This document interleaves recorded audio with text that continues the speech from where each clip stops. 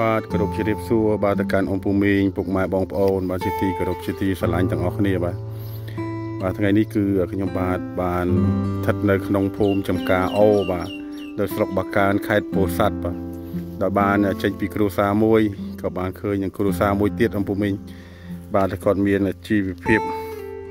បាទខ្សត់ខ្សោយ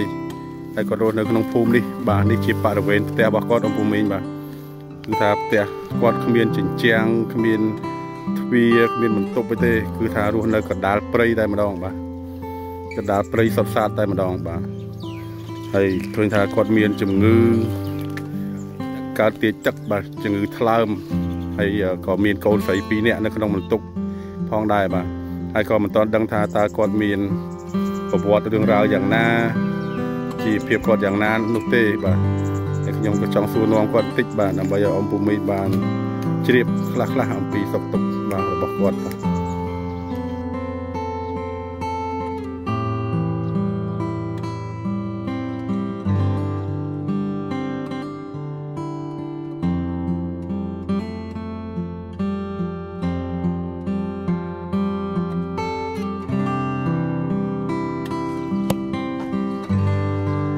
បាទជម្រាបសួរបងប្អូន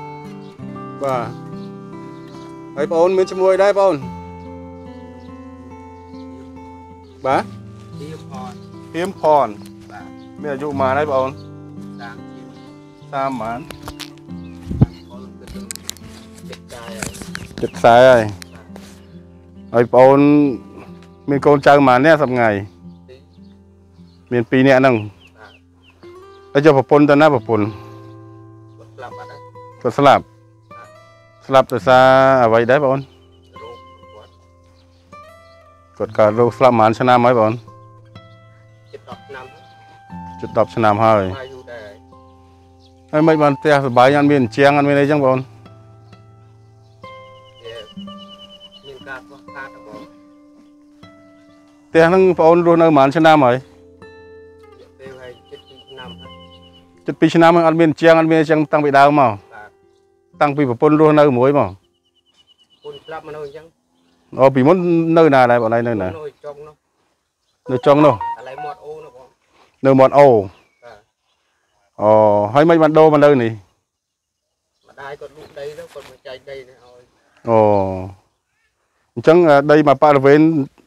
ប៉ុណ្្នឹងទេមកកន្លែងប៉ុណ្្នឹងគាត់ឲ្យគាត់ឲ្យនៅបាទតែគាត់ឲ្យដាច់ទេ ហើយម្ដាយគាត់រស់នៅក្នុងភូមិស្រុកនេះដែរសប្ងៃម្ដាយគាត់នៅភូមិស្រុកនេះដែរឥឡូវនៅឈឺដេកអញ្ចឹងផ្ទះនៅនោះនេះនៅក្នុងផ្ទះទៅធ្វើការផ្ទះនេះគេបន្តវាពូខ្យល់នេះអស់ហើយបាទហើយឃើញបងអូនមានជំងឺមានជំងឺអីដែរបងអូនខ្ញុំអត់ដែលបានទៅមនិតផងបងអត់ដែលបានទៅមនិតទេបាទហើយកើតជំងឺនេះមើលទៅប្រហែលឆ្នាំហើយបងមិន ដឹងថាវាកើតប្រហែលឆ្នាំក៏អត់ដឹងដែរបងមុនដំបូងមុនដំបូងមិនទៅមុនមុនដំបូងចេះតែមិនអត់អីបងធម្មតាធម្មតាអញ្ចឹងទៅមួយកូនអញ្ចឹងទៅអត់ហូបកលិចអញ្ចឹងទៅចាប់ត្រីចាប់អីគឺជួយយកហូបហើយដល់ពេលមានលុយទៅក៏ទិញហូបខ្លះទៅចាប់បានច្រើននោះក៏លក់ដូរកហូបខ្លះទៅ បាទហើយឃើញថាបងអូនអត់ដឹងថាមានជំងឺទេសប្ងៃហ្នឹងឃើញពោះប៉ោងអញ្ចឹងទៅវាប៉ោងអញ្ចឹងប៉ុន្តែសុខភាពខ្ញុំវាដូចជាអត់ទៅអីដែរប៉ុន្តែវាប៉ោងតែអញ្ចឹងឲ្យតែផឹកទឹកឆ្អែតអញ្ចឹងហូបទឹកឆ្អែតអញ្ចឹងបាទផឹកទឹកឆ្អែតបាយឆ្អែតអញ្ចឹងប្រហែលបងពីមុនអូនឯងចូលចូលចិត្តពិសាស្រាទេកាលពីនៅតូចតូចអត់ទេ ហូបរយៈពេលប្រហែលជាអាយុ20ជាងហូបស្រាបាទទៅហូបស្រាយូរទៅអញ្ចឹងទៅតាំងពីតូចមកអត់ហូបច្រើនអត់ទេនិយាយពីពីកាំងតាំងពីហូបមកតាំងពីហូបមកវាតែប៉ុណ្្នឹងរហូតពោះធំអញ្ចឹងហ្មងបាទបើអត់ទាន់បានទៅពេទ្យសួរពេទ្យសួរអីទេអត់ផងបងហើយចុះក្មួយស្រី2នាក់ត្រូវជាកូនហើយក្មួយស្រីខាងនោះឈ្មោះអីដែរចុះអាយុប៉ុន្មានណាក្មួយ 14ហើយហើយក្មួយមិនបានចូលរៀននៅក្មួយហើយអឺចុះក្មួយស្រីខាងនោះឈ្មោះអីដែរអីអាយុប៉ុន្មានហើយក្មួយ3 10ហើយបានចូលរៀនដែរនៅអត់បានចូលរៀនទេហើយចង់ចូលរៀនអត់ក្មួយចង់ចូលរៀនអត់ចង់ហ៎ ពីអ្នកបងប្អូនចង់ចូលរៀនតែឥឡូវវាយើងអត់មានថវិកាទេអត់មានថវិកាអត់មានលុយកាក់អីទិញសម្លៀកបំពាក់សភៅអីទៅរៀនមែនទេក្មួយបាទហើយចុះបើមានអំពូមីងជួយឲ្យទៅរៀនទៅអត់បាទហើយយប់ឡើងមកឲ្យសម្រាប់ទៅណាបងហ្នឹងបងចុះកូនកូនហ្នឹងទាំងអស់ហឹមអត់មានជាងចុះពេលមេឃភ្លៀងមកធ្វើមិនជាងមករួចរួចចូលគ្នាទាំងអស់បាទ ពេលភ្លៀងមកចូលគ្នាអញ្ចឹងសើមអង្គុយស្កុកអីចឹងទៅមូលមកកដុកទៅហើយហូបចុករាល់ថ្ងៃហ្នឹងបានថវិកាពីពីណាមកបើបងមានអឺប្អូនមានជំងឺអញ្ចឹងទៅធ្វើអីកើតជួនក៏មានជួនក៏អត់ចឹងណាបងជួនកាលទៅក៏ទៅចាប់ត្រីបានហូបចឹងទៅអូឥឡូវនេះនៅនៅតែចាប់ត្រីដដែលទេចាប់ត្រីក្លៀងត្រីក្រាញ់អីហ្នឹងតិចតួចហ្នឹងណាបងអូនៅអាចធ្វើការបានណាបងណាបាទទៅបានតិចតួចហើយអត់មានធ្វើស្រែចកាយទេអត់មានដីស្រែចកាយបងប្រទេសឯកន្លែងនេះមិនដែរឲ្យនៅហ្នឹងហើយបើថ្ងៃណាទៅរកត្រីអត់បានបានឲ្យហូបអញ្ចឹងក៏ត្រីអត់បានអត់បើវាបំរកអត់ទេបងបានតិចតួចនៅតែបាន ហើយពេលបានត្រីមកយើងយកទៅលក់នៅណាបងបានលក់ជួនកាលបានច្រើននោះក៏បានលក់ខ្លះទៅបងជួនកាលបានតិចក៏ធ្វើហូបងោះគ្នាអញ្ចឹងទៅបានច្រើននោះក៏ឲ្យគូនយកលក់ឲ្យវាយកលុយចាយខ្លះអញ្ចឹងទៅតែក្មួយក្មួយយកទៅលក់នៅដល់ណាក្មួយស្រីដើរលក់ណាក្មួយណោះហឹមណាត់ទៅបង ហើយក្មួយក្មួយស្រីនិយាយតិចមើលរងថ្ងៃបានហូបចុកគ្រប់គ្រាន់ទេក្មួយថ្ងៃណាទៅអត់ហើយអត់មានពូមីងអីទេ មានណាចុះពូមីងមានដែរហុចបាយទឹកនំចំណីអីឲ្យក្មួយញ៉ាំខ្លះហ៎ខ្លះខ្លះដែរ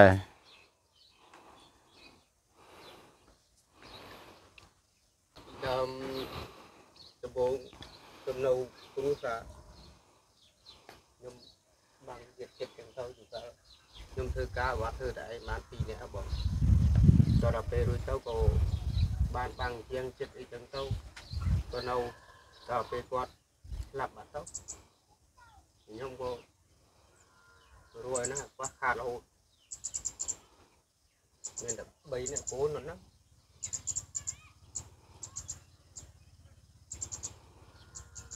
ហើយក៏រស់នៅពឹងផ្អែកទៅលើតែការចាប់ត្រីអញ្ចឹងទេ មានតែប៉ុណ្្នឹងទេបង ហើយត្រីហ្នឹងយើងអឺទៅចាប់បានរាល់ថ្ងៃហ្មងឬក៏យ៉ាងណាជួនក៏បានអញ្ចឹងទៅជួនក៏អត់អញ្ចឹងទៅចឹងព្រោះខែនេះបងដែលបងសួរហ្នឹងគឺខែនេះខែចែកឃើញតែរីងស្ងួតអស់ហើយណាបាទបងហើយទៅចាប់នៅណាវិញ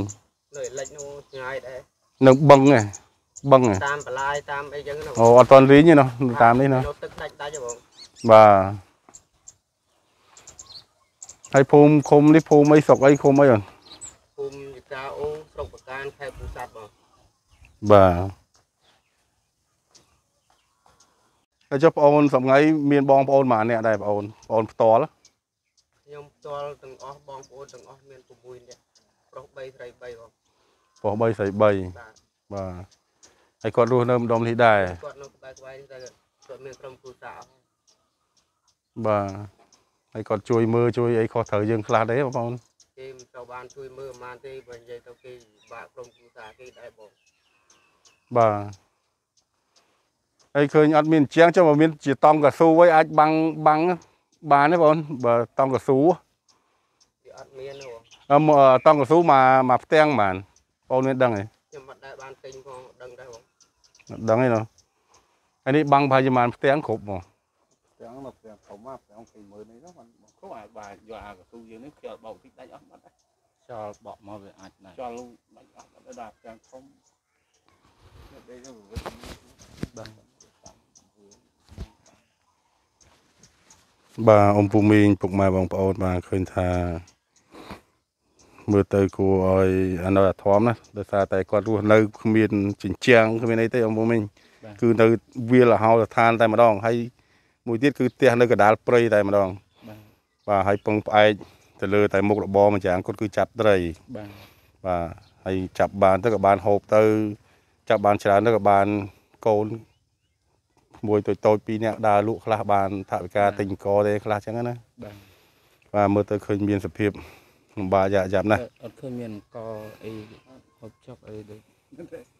បងមានកមានអីដល់អត់មានឃើញកឆ្នាំងអីណាបានមួយថ្ងៃ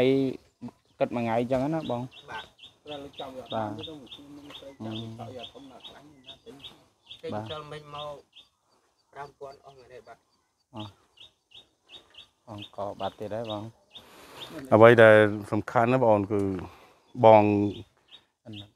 ក្មួយស្រីទាំងពីរគាត់ទៅគាត់ចង់ទៅរៀនបាទហើយគាត់អត់មានថវិកា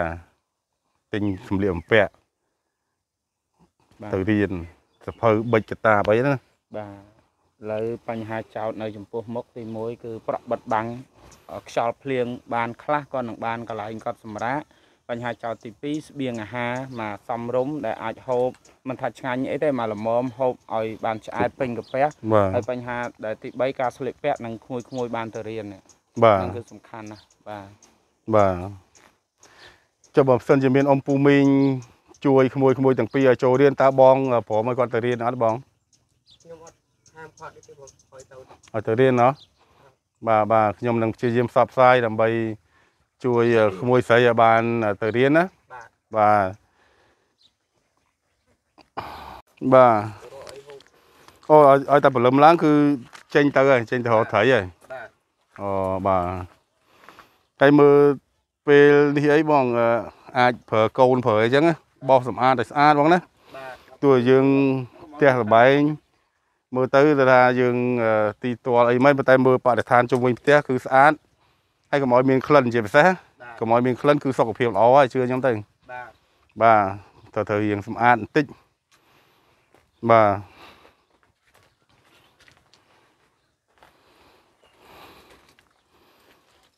បាទអ៊ំពូមីងពុកម៉ែបងប្អូនបាទដោយសារតែមើលទៅឃើញភាពលំបាកយ៉ាប់យ៉ាប់ខ្លាំងមែនទែនបញ្ហាចម្បងដូចខ្ញុំបានអឺ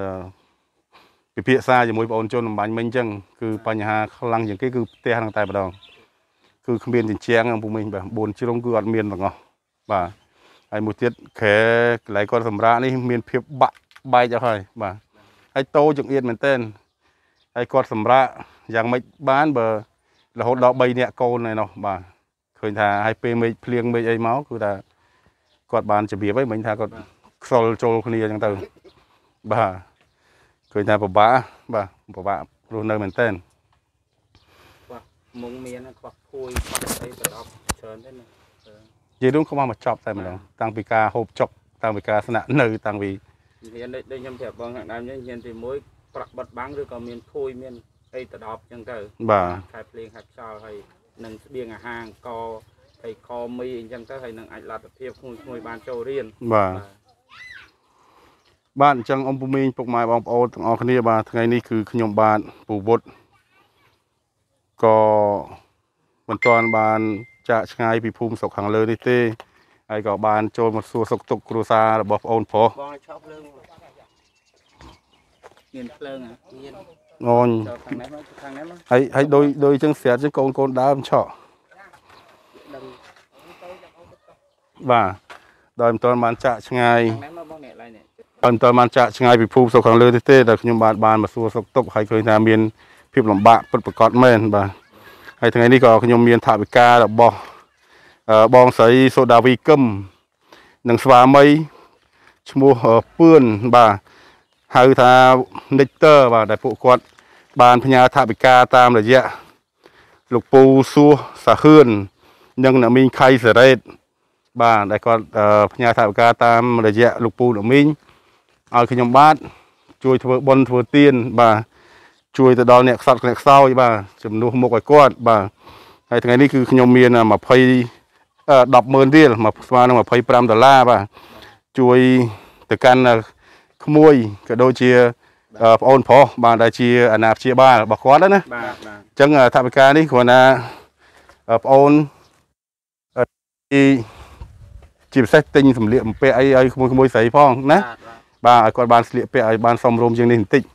ហើយហូបចុកអីអង្គសក្រីអីទៅបាទបាទអរគុណមកបាទអញ្ចឹងបងអូនមានថវិកាចូលរួមខ្លះដែរខ្ញុំមានថវិកាផ្ទាល់ខ្លួនតិចតួចបងបាទតែតែខ្ញុំក៏មិនសូវមានមានសប្បុរសជនអីគាត់ផ្ញើដែរបាទអញ្ចឹងខ្ញុំឃើញគាត់ខ្ញុំអាណិតមែនតើបងហើយ